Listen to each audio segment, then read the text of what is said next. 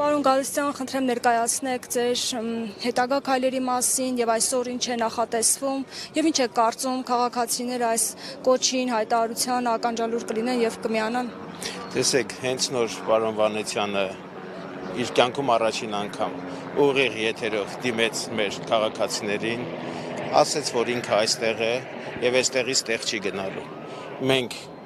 իր մի խումբ համախոհներով եկել ենք այստեղ ազատության հրապարակ այս սուրբ օրով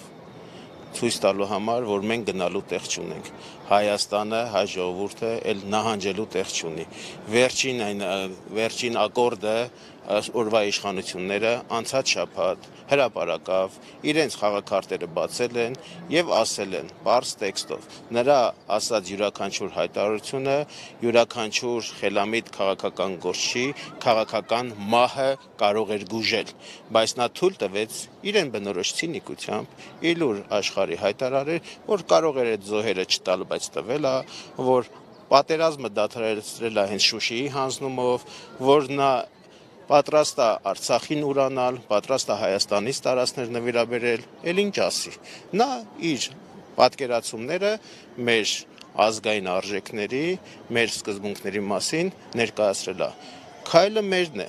ես չեմ կիսում, ես համաձայն չեմ, ես ընդվզում եմ այդ մոտեցումների հետ եւ ես այստեղ եմ ու կոչ եմ անում ինձ ճանաչողներին, բոլոր ծանոթ անծանոթներին, ժողովուրդ ջան, եթե համաձայն չեք նրանց ասածների հետ, եթե գիտեք, որ ինչ որ բան սխալ է գնում, եկեք այստեղ, կանգնենք կողք կողքի, իրար հետ որոշենք։ Եթե մենք իրար հետ կողք կողքի կանգնած չեն, ուրեմն մեր ապագան, մեր ճակատագիրը Արցախի Հայաստանի որոշելու են մի խումբ բախտախնդիրներ, ովքեր այսօր զավթել են իշխանությունը։ Ես վստահ եմ, որ 100 հազարավոր քաղաքացիներ այսօր բոլորն էլ խելագարության աստիճանի անորոշության մեջ են, հուսահատության մեջ են, հուսալքված են, ես ասում եմ, չհուսահատվեք, չհիասթափվեք,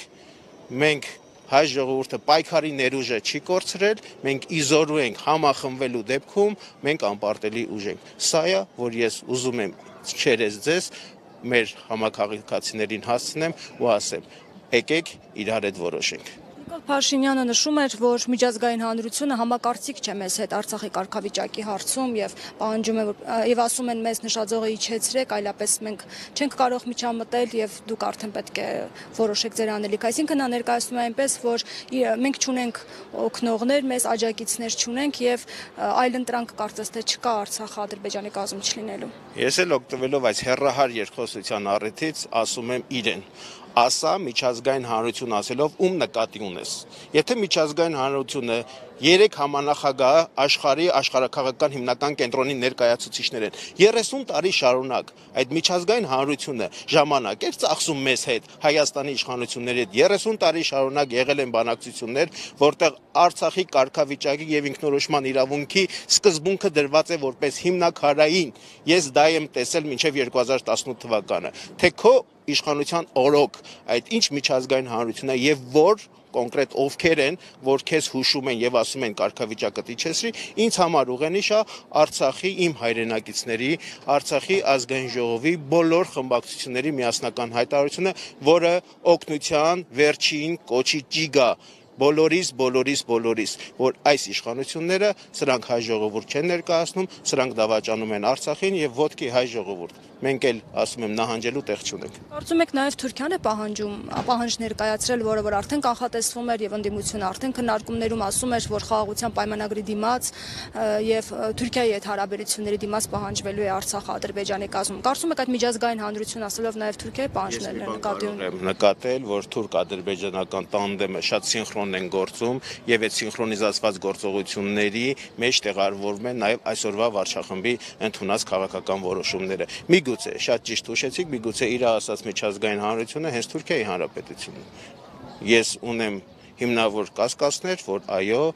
նա այսօր դավաճանում է հայ ժողովրդի պետական շահերը եւ այսօր ընկնելով թուրք-ադրբեջանական ակցիանը երկու կողմից նրանք սխմում են եւ հաշվի առնելով որ իրանք է պարտված իշխանություններ են իսկ պարտվածին միայն կարելի է պայմաններ թելադրել պարտվածը ոչ մի կերպ ոչ մի դրույթ չի կարող առաջ տանել որովհետեւ նա մարտի դաշտում արդեն խայտարակ պարտություն է կրել Արտաքին հարաբերության հանձնաժողովի նախագահ Էդուարդ Աղաջանյան ազգային ժողովին նա նշեց, որ միգուցե արցախցիները այդքանը լավ չեն հասկացել եւ չի կարող ընդունվել մի որոշում, որը իրենց համար ընդունելի չէ։ Բայց մենք տեսանք նաեւ Արցախի ազգային ժողովի հայտարարությունը, որ